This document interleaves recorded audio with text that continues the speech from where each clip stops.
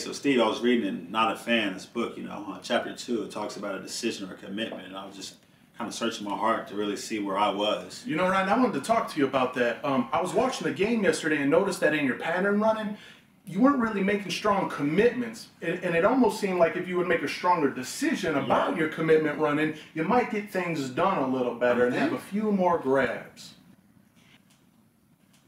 Oh, you gotta focus up, man. So, how's 61 going? Yeah, 621's cool, but dude, I seen this picture on the internet the other day. It was Jesus striking a Heisman pose, bro. He had caught a football, was in the end zone, busting the Heisman pose. Know, Jesus loves football. Hey, hey, that is that's cool and all, man. But let's talk about real life, man. We can we can talk about that later.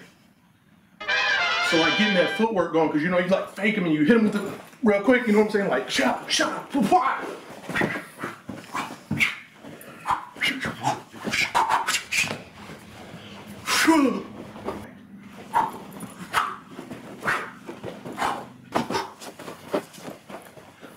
Like, like, got him. Guy. Hurt, hurt. Yes. God, we just we thank you, God, that you would make a game like football.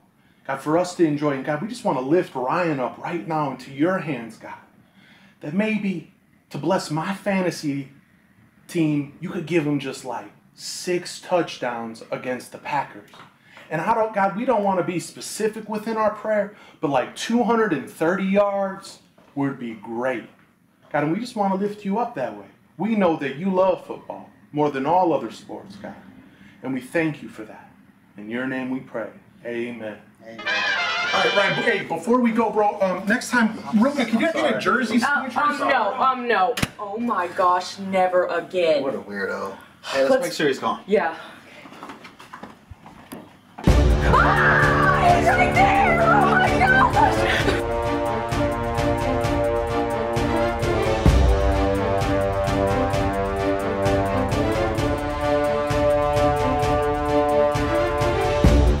Hey guys, we just wanted to say hey and that we miss you and we love you so much.